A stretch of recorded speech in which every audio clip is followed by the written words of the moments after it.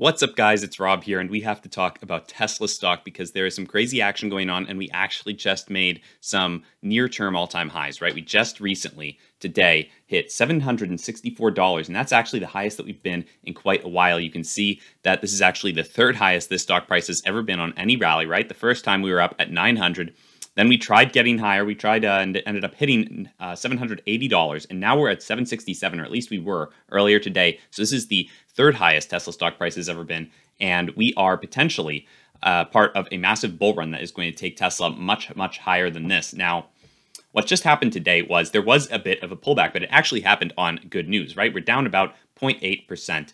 And uh, I'm surprised to see this actually because Tesla just released some great news earlier today. You can see right here uh, the Tesla Gigafactory in Shanghai produced a record number of EVs. And this is actually a really impressive statistic. If you look more deeply into it, you can see that in July, they produced about 32,000 EVs. And the next month, in August, they actually produced 44,000, which is about a 35 or a 34% increase, it says right here, over uh, the previous month. And that's a drastic increase, especially to see in such a short time period. And this is really great news for Tesla because Tesla's bottleneck is often how fast they can produce EVs, right? They have no problem selling their cars. People want their cars. Uh, they're willing to pay hand over fist for them, but Tesla just can't make them quite fast enough, which is actually why they've gotten so expensive because people are willing to pay, even though the price has gone up and up. Now, you can see right here on Tesla's actual page, I'll remove myself from the screen for a second. You can see right here the Model 3 sells for about $40,000.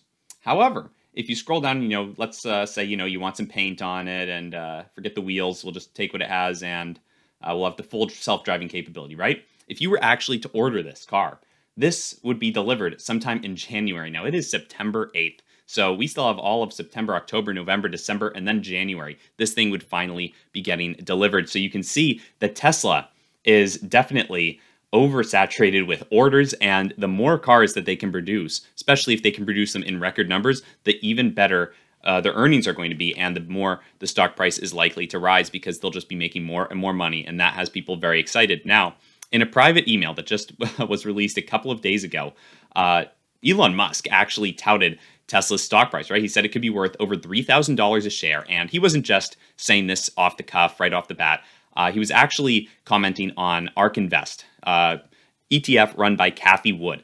And this ETF essentially said that their price target for Tesla in the year 2025 was $3,000. Now, if you look at the current price of 747, uh, you'd be looking at almost a 5x, a 4 to 5x increase in stock price uh, if this thing actually hit $3,000. So that is a very impressive gain uh, to be made just over the course of four years, or even less, honestly, because we're almost at 2022 right here. So uh, that would be a massive gain. And Tess, uh, Elon Musk actually agreed with this in an email he sent out to his employees. He said, "If we execute really well, I agree with ARK Invest." So that is potentially uh, great news for Tesla, right? Because obviously we are seeing that based off of this, they're producing record numbers of EVs in their factory month over month, 34% increase. That seems like executing effectively. So I think that there's a really good chance that we will be running up quite a bit. If you look at the chart, we can actually see uh, that we have formed some zones of support and resistance, and you can see that we're dipping down a bit today, right? We did actually end up bouncing off of the